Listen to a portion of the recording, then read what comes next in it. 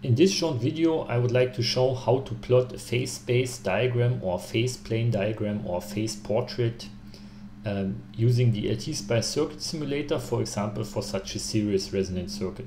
Before we go into the details of the circuit simulation, I would use another example to illustrate uh, what such a phase space is and what's the advantage of this. So the uh, example we take is a pendulum. The pendulum is fixed at this pivot and there's some rod and on the bottom of the rod there's a bob and the bob is in the resting position.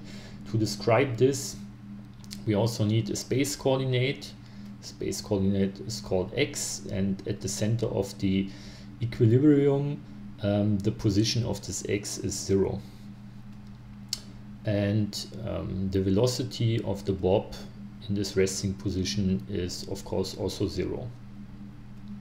Now if we draw this into some time plot or time diagram, this is the time axis um, and this is the amplitude axis and if we draw the position, so the position um, is maximum but negative at this point and the velocity is zero at this position.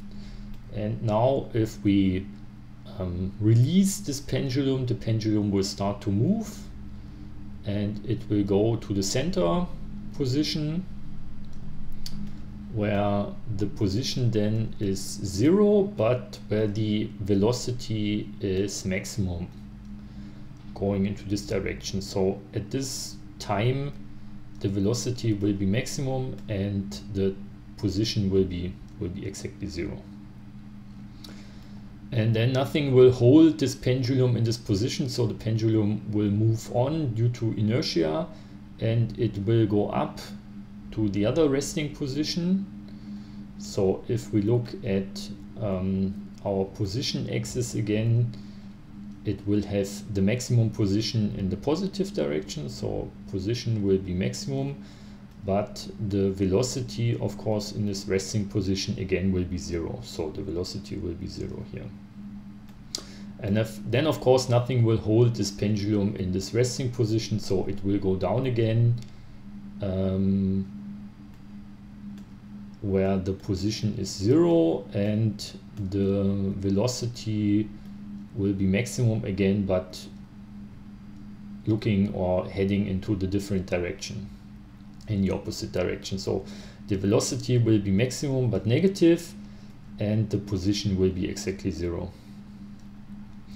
Now if we try to um, join these points with some line, we need to know, okay, the differential equation that describes this pendulum as a second order differential equation and um, the solution of the second order differential equation are harmonic functions, harmonic oscillations. So we get some harmonic function here. This is a cosine function, but negative.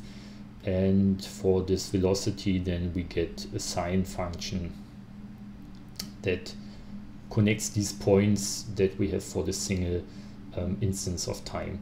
And we can shortly check this. So the velocity as a function of the time should be the time derivative of the position as a function of the time and the position here is um, negative cosine function and the time derivative of the negative cosine function is a sine function and we can see that really this velocity uh, can be described by the sine function. Now the idea is to plot, plot this in this phase plane or phase space and the phase plane is created by two axes um, and yeah, the time which is um, is directly shown here. We don't see this um, in this phase plot, but the axis that we use here is the position, for example, and again this velocity. Uh, the order does not really matter, but I will choose it like this. And now we can check these different instants of time that we have here. So when the time is zero, we see that the velocity is zero and position is maximum but negative. This is exactly this point here. And then in this, after a quarter periodic time at this instant of time the velocity is maximum but the position is zero. So position is zero but velocity is maximum. Then we get exactly this point. At this third instant of time uh, let's say after half of the periodic time the um, uh, position is again maximum but the velocity is zero. So we end up in this point and at three quarters of the periodic time at this instant of time we see that the position is zero and that the velocity is maximum but negative. So we end up in this point. And now uh, we connect these points the same way as we did here. So these were harmonic functions sine and cosine functions. So what we get here is like a circle. And I will also uh, mark the the direction of the circle Oops. and inside this or, or in this phase plane so this is the whole phase plane we see a trajectory um, so this line is called the trajectory and the um, um this yeah the pendulum um, will oscillate according to this tra trajectory. And the idea of this phase plane is now that one can really nice see how much energy is in the system because if we have a high energy we will have a high velocity um, and probably we will also have a high position. So high energy always means we are um, far away from this origin and it also means that if we go to this origin um, the velocity will be small, the position will be small, the pendulum will be without any movement at this equilibrium. So there will be the, the pendulum is dead. Yeah, so there will be no, no energy anymore in the system and the system is out of order. And what we can also see if this trajectory is like a circle, um, that our system does nice harmonic oscillations if it is not a circle but some other strange shape there will be some oscillation um, but yeah it will not be harmonic anymore. And now we can go back to our circuit to our electrical circuit and can say okay um, we have something like this also in the electrical circuit because the current uh, through some capacitor is the same as um, the capacity or the capacitance multiplied by the time derivative of the voltage across this um, capacitor and the same way the voltage drop over some inductor is the same as the time derivative of the current flowing through this inductor. And now we can go back to our LT-Spice circuit and what we see here is a plain series resonance circuit that is excited by some voltage source and the voltage source has some amplitude and it has some frequency and the frequency is adjusted in a way that exactly coincides with the resonant frequency with the eigenfrequency of the series resonant circuit. So if we simulate this and for example look at the current here through this capacitor, we see we start at zero and then the circuit starts to oscillate and it reaches a steady state here um, and the amplitude stays constant and we see nice harmonic oscillations. And we can also take a look at the voltage across this capacitor. Um, now the voltage is shown here in blue and we see that um, yeah this does the same kind of oscillations and we can also check if this um, works with what we have drawn before. So here um, the velocity is the time derivative of the position as we can see in this equation. So the um, um, the, the oscillation or the time function of the velocity will always be a little bit ahead of the time function for this position. And by the same way also the current is the time derivative of the voltage um, across this capacitor. So the current through this capacitor should also be a little bit ahead of the voltage. And we can see this oops, also um, exactly in this diagram here that the voltage um, is or that the current is a little bit ahead of the voltage or that the voltage comes after the current. So um, it's exactly the same thing that we see here in this diagram. Now the question is how to do this phase plane plotting in LTspice. And therefore I will remove the voltage here. And yeah, now we have the current on the y-axis and we want to have the voltage here on this axis. So we go onto this axis and we see that the quantity plotted here is the time. And we can now change this uh, variable to any other variable that occurs um, in our circuit. So we can also change it to the voltage at this node which is the voltage across this capacitor and plot it and then we can see this very nice um, trajectory. We start at the origin then the circuit starts to oscillate and uh, um, the voltage source pumps energy into the circuit and we have more and more energy in the circuit and uh, stronger and stronger oscillations. And then this trajectory is um, moves to this outer circle where we reach the steady state. And this outer circle is called an attractor because it attracts this trajectory.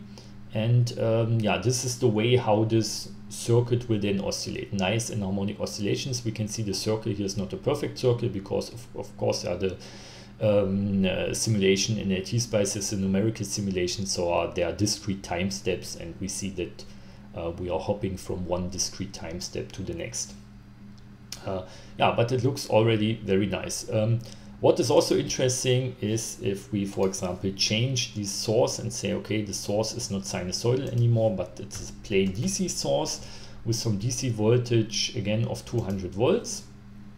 And look at our um, phase plane diagram again, then um, it's not working at the beginning because now LTspice already calculates the DC operating uh, point and the DC operating point is that this capacitor is fully charged to this voltage. Uh, we can skip this by saying here we don't want to calculate this um, operating point initially and recalculate. And then it looks like this. Yeah, so we start here. No current at the beginning no voltage across the capacitor. Then um, we excite this uh, this so, um, this circuit with the DC voltage source and the circuit will start to oscillate doing quite strong oscillations and then the oscillations will uh, get smaller and smaller and smaller and smaller. And we end up in this point here where there is no current and where the capacitor is fully charged to the voltage of the source which is quite reasonable because if it's a DC source for the DC case, this will the, the inductor will be like a short circuit, this will be like an open circuit. Uh, so open circuit means there is no current. If there is no current, there will be also no voltage drop across the resistor and the full voltage of the source will be uh, measurable across this capacitor. And this is what we see here. Now this phase plane phase space plotting is really interesting for circuits that have some chaotic behavior. And one nice example for this is this Chua circuit. Um, so it consists also of some yeah some resonance circuits. So we see some inductor and capacitor here that give us some resonance, and there is some second capacitor this, that is charged via this resistance and then this uh, operational amplifier here is the source that gives us the excitation and then the speciality of the circuit is inside these two diodes. So I will disconnect these two diodes first and will replace them by some resistor and give this resistor a resistance of 1 ohm and now if we simulate the circuit and look for example at this voltage here we see that there's nothing at the beginning. It needs some numerical noise to start uh, the oscillation to excite the circuit but this happens at some time. And then if we zoom in we see nice harmonic um, oscillations. And we can also plot the voltage here at this second node and then we see this also oscillates but not harmonic. It's more like a um, sawtooth function. Uh, yeah that happens because this capacitor is charged via this resistance. Okay now I will disconnect this resistor here again and connect these diodes and redo the simulation. And now what the diodes do is they clip the voltage here that we had before um, in the positive direction and in the negative direction because we have some um, anti-parallel diodes and they will change of course the behavior of the oscillation here. And this will also change the behavior of, of the oscillation here. And um, so how the oscillation is changed also depends on how was the oscillation before. And yeah this will really happen in some chaotic behavior as we can see here if we zoom in. Um, we can see that it, it, still looks somehow harmonic but not uh, yeah the amplitude changes um, for this voltage V1 at this first node and the second voltage at the second node really um, has some state where it's up and then it's down and also does some kind of jumps in between them and also some kind of other oscillations. And now the question is, um, is, is this really chaotic behavior? Does it repeat somehow after some time? And it's quite difficult to, uh, to, to judge about this um, from this diagram here because it's quite difficult to assess is does this year look the same as this year at the end for example and now, yeah, we can plot this in this phase portrait, phase plane, phase space again. I will remove the second voltage, again go to the time axis and change the time axis to display the voltage at the second node. Yeah, what we can see is um, what is called a strange attractor. So th there is some shape that we can see. It's like a like a eight or something like this. Um, but no curve is like the other. Yeah? So there is no um, no no curve that all other trajectories will move onto, like what we have seen before in this circuit here. Um, if I go back, if I go back to the source, to the sinusoidal source that we had before, yeah, we can see that starts to oscillate and all trajectories will move to this single um, circle out there to this attractor. This is not what we uh, what we have here. Here really every single line is different than the lines that we had before. And this is something that can just be seen or that can very nicely be seen in this phase plane, phase space or phase portrait.